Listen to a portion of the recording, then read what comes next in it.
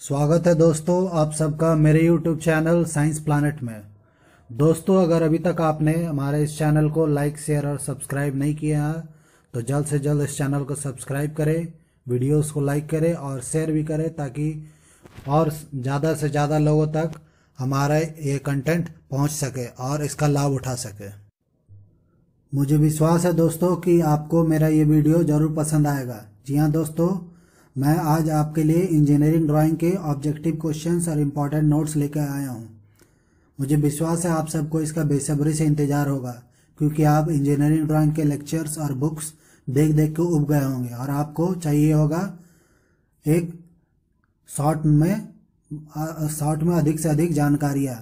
तो चिंता मत कीजिए दोस्तों, आज मैं आपके लिए लेके आया हूँ पहला सेट इस इंजीनियरिंग ड्राइंग का, जो है drawing instrument and their uses जी हाँ दोस्तों इंजीनियरिंग ड्राइंग बहुत ही इंपॉर्टेंट टॉपिक है। आने वाले R R B L P के एग्ज़ाम्स में इतना ही नहीं, बहुत सारे ऐसे टेक्निकल एग्ज़ाम्स हैं जिसमें इंजीनियरिंग ड्राइंग से क्वेश्चन पूछे जाते हैं।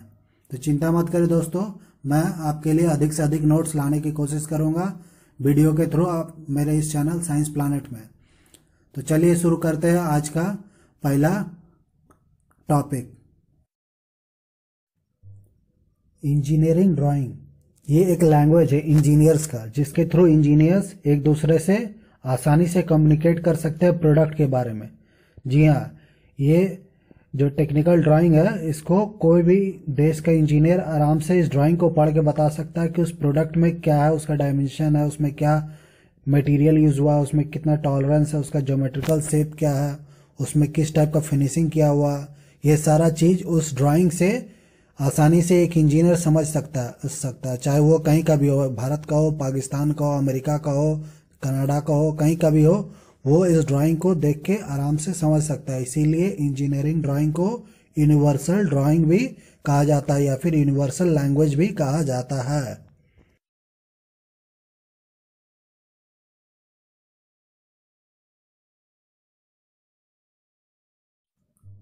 अब आते हैं ड्राइंग इंस्ट्रूमेंट्स में। ड्राइंग करने के लिए हमको सीट के साथ साथ एक ड्राइंग बोर्ड की भी ज़रूरत पड़ती है, जिस पे हम सीट को रख के ड्राइंग करते हैं। तो ड्राइंग बोर्ड की क्वालिटियाँ क्या क्या होना चाहिए? Drawing board is made up of strips of well seasoned soft wood यानी कि वैसी लकड़ी जो कि गर्मी हो या बरसात हो, उसमें फूले नहीं या फिर पिचक ना जाए। क्या होता है कि मॉइस्चर अगर पड़ता है लकड़ी में तो वो फूल जाता है। तो ऐसा ना हो, इसलिए एक बेहतर क्वालिटी का लकड़ी हमको चाहिए, उसमें का फिनिशिंग भी अच्छा होना चाहिए।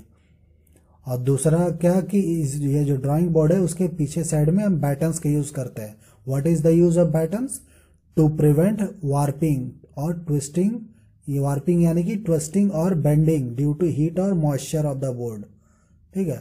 वार्पिंग में क्या होता है? यानी कि थोड़ा ज़्यादा मॉइस्चर या फिर हीट पड़ जाए तो उड जो है बेंड कर जाता है। तो वो बेंड ना हो। इसके लिए हम लोग उसको सपोर्ट देते हैं बैटन्स के ज़रिए। जैसे घर घर में अगर आपका पीढ़ा होता होगा जिसपे आप बैठ के घर में खाना खाते हैं तो वो पीढ़ा के दोनों साइड में हम लकड़िया का टुकड़ा लगाते हैं उसको सपोर्ट देने के लिए। उसी तरह हम इसमें भी ड्राइंग बोर्ड में दो बैटन्स का यूज़ करते हैं ताकि वो बेंड ना करे। दूसरा चीज़ क्या है कि ड्राइंग बोर्ड का जो लेफ़्ट साइड है, उसमें हम एबोनी ए, एक ग्रुप काटते हैं उस ग्रुप में एक एबोनी नाम का लकड़ी डालते हैं जो कि बहुत हार्ड लकड़ी होता है बहुत ही हार्ड और डेंस लकड़ी होता है। इस एज को जिस एज में हम लगाते हैं उसको वर्किंग एज भी कहते हैं।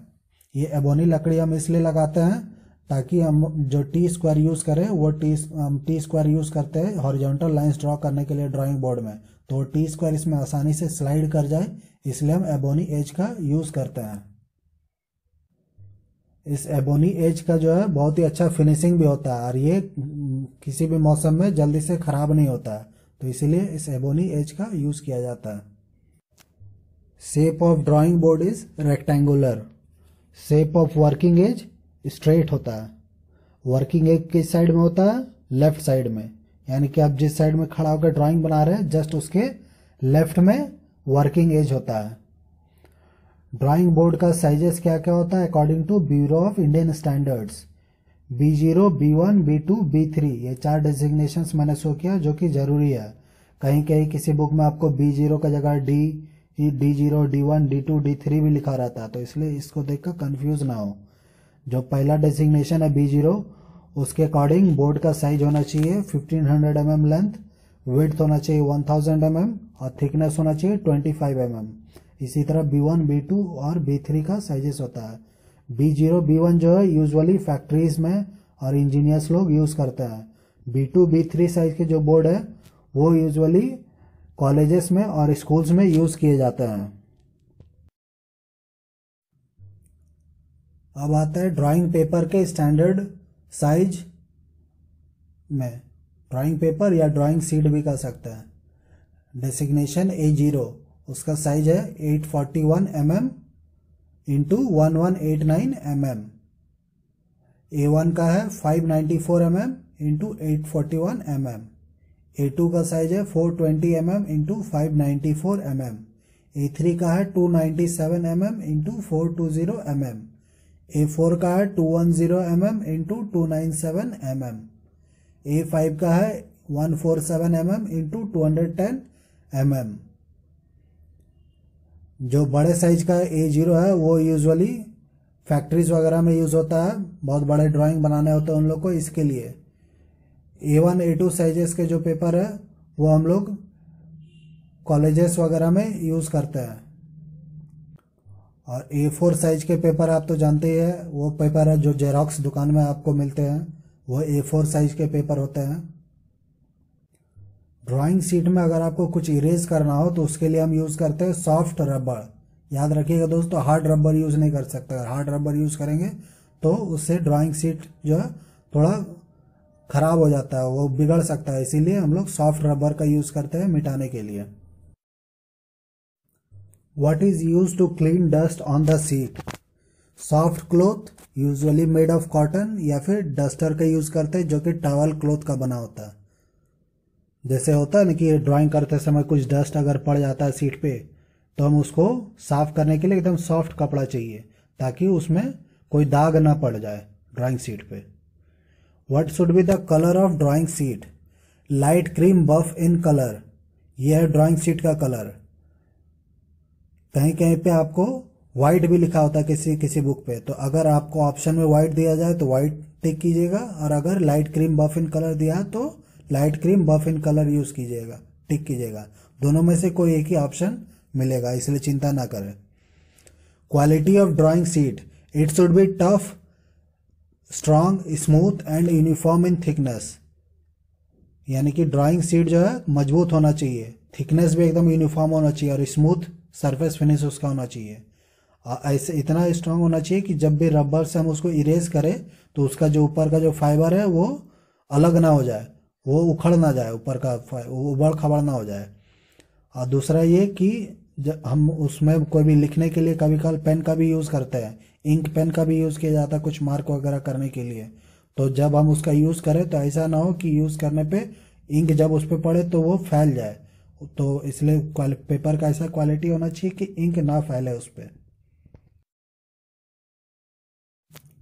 ड्राइंग पेंसिल अगर आपको एक बेहतर ड्राइंग बनाना है तो ड्राइंग पेंसिल का क्वालिटी जो है, सटीक होना चाहिए कि कहाँ कौन सा पेंसिल यूज़ करना है, किस टाइप का पेंसिल यूज़ करना है तो इसकी जानकारी आपको होना बहुत ही ज़रूरी है। पेंसिल्स जो होते हैं, उसका जो ऊपरी भाग होता है, वो लकड़ी का बना होता है। और जो उसमें जो नीब होता है, जिसको लेड भी कहते हैं, वो बना होता है क्ले जिसको केओलिन भी कहते हैं। केओलिन नामक क्ले उसमें प्रेजेंट होता है एंड ग्रेफाइट ये दो चीज़ों से पेंसिल का लेड बनता है। Pencil the hardness of a pencil depends upon the amount of clay और केओलिन प्रेजेंट इन इट जो पेंसिल का हार्डनेस डिपेंड करता है वो केओलिन पे। Hardness is directly proportional to the amount of clay और केओलिन केओलिन की मात्रा अगर ज़्यादा रहेगी पेंसिल में तो पेंसिल का हार्डनेस जो है लेड का हार्डनेस वो ज़्यादा होगा। अगर केओलिन की मात्रा कम होगी पेंसिल का लेड में तो पेंसिल का, लेड का हार्डनेस कम होगा। पेंसिल के कौन कौन से ग्रेड यूज़ किए जाते हैं ड्राइंग में?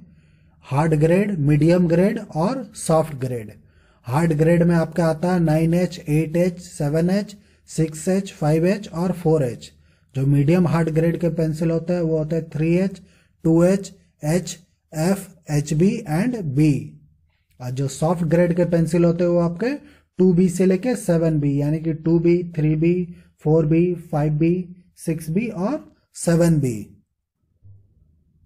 इन पेंसिल्स का हर जगह अलग अलग यूज़ होता है। अलग अलग जगह कोई कोई पेंसिल कंस्ट्रक्शन लाइन के लिए यूज़ होता है तो कोई पेंसिल हैचिंग के लिए यूज़ होता है।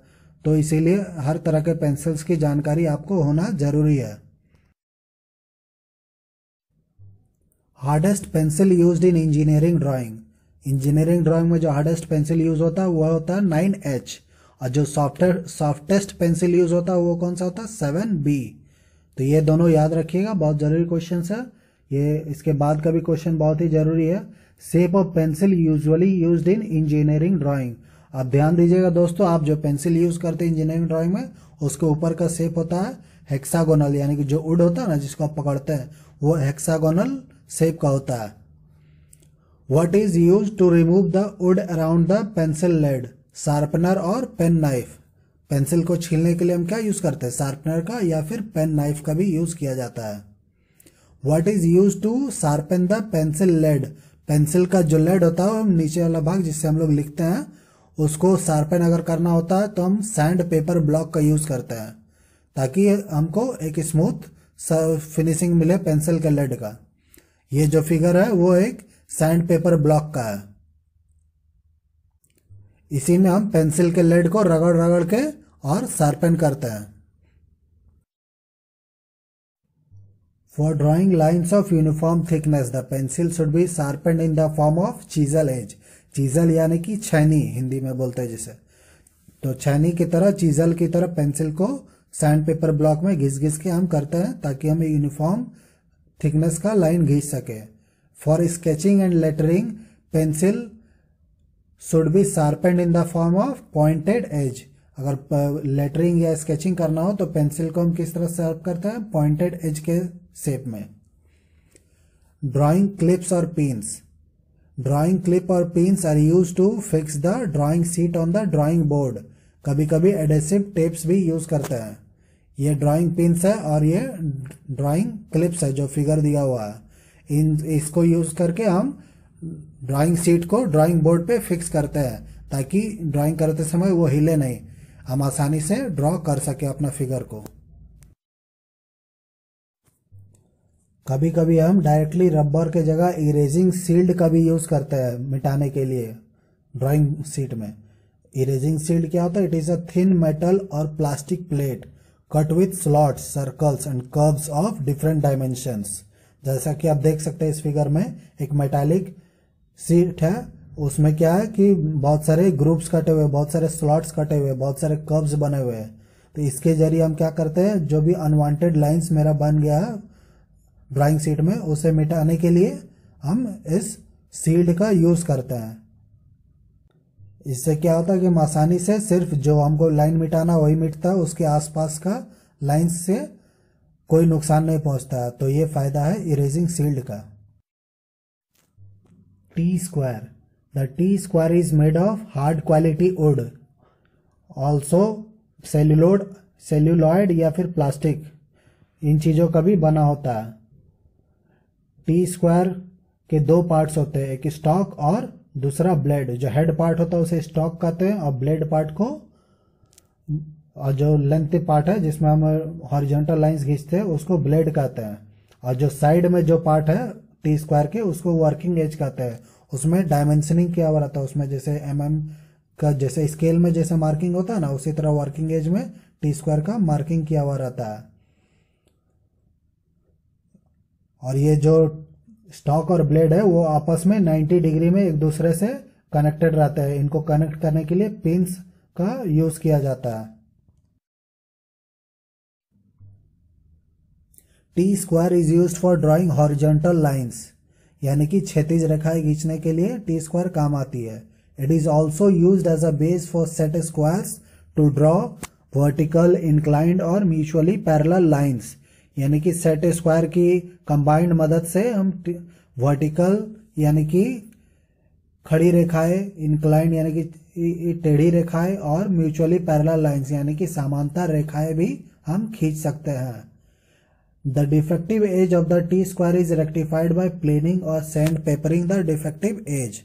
अगर टी स्क्वायर का जो एज है, जिससे हम ड्रॉ कर रहे हैं लाइंस अगर वो खराब हो जाए, यानी कि थोड़ा बहुत होता है ना कि मुड़ गया या कहीं फूल गया वगैरह कुछ हो जाता है तो सही से रेखा आपका घिंचा नहीं रहा तो उसके तो हम उसको ठीक करने के लिए सैंड पेपर का यूज़ करते हैं सैंड पेपर से हम घिस घिस के उस एज को फिर स्ट्रेट करते हैं the T square slides on which part of the drawing board ये एक बहुत ही इंपॉर्टेंट क्वेश्चन है दोस्तों कि टी स्क्वायर बोर्ड के ड्राइंग बोर्ड के किस पार्ट पे स्लाइड करता है? ये मैंने पहले भी बताया कि T square slides on the working edge और ebony edge of the board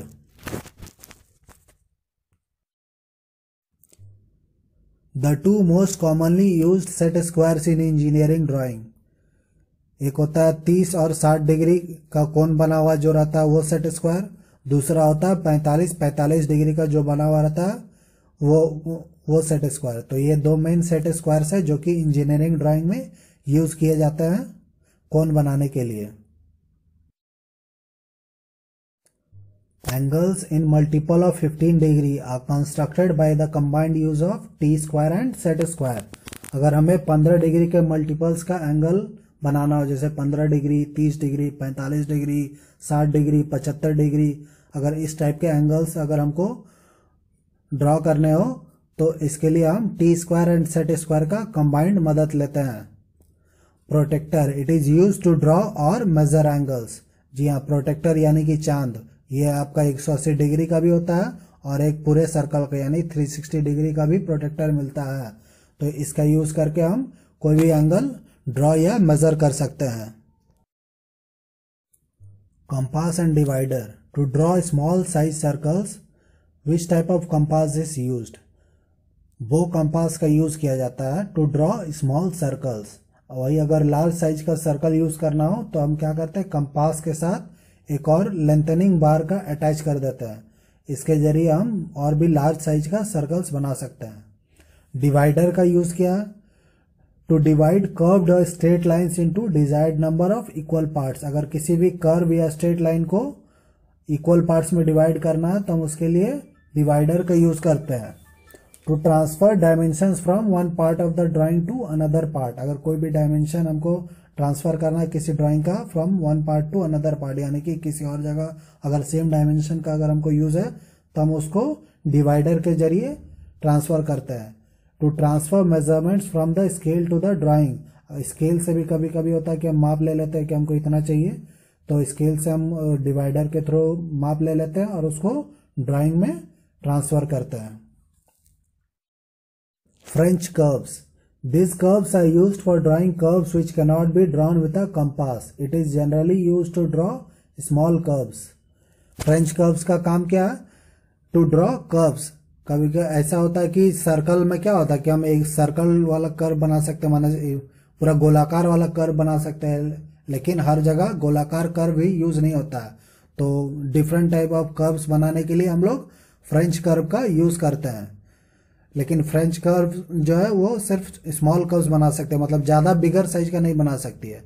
तो अगर बहुत बड़े साइज़ का कर्व अगर हमको बनाना है तो उसके लिए हम लोग स्प्लाइंस का भी यूज़ करते हैं।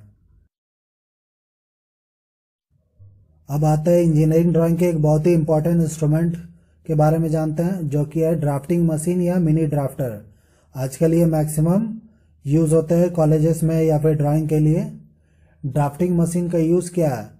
ये ये जो है टी स्क्वायर प्रोटेक्टर स्केल और सेट स्क्वायर इन चारों चीज़ का जो काम है, वो ये अकेले कर सकता है। यानी कि इन चीज़ों को रिप्लेस करके हम ड्राफ्टर का भी यूज़ कर सकते हैं। इसके ज़रिए हम लाइंस खींच सकते हैं। कोई भी डिजायर्ड एंगल को माप सकते हैं। कोई भी डिजायर्ड एंगल हम ड्रॉ कर सकते हैं। हॉरिजेंटल लाइन हो, चाहे वर्टिकल लाइन हो इंक्लाइंड लाइन हो, हर तरह के लाइन हम इसके ज़रिए ड्रॉ कर सकते हैं।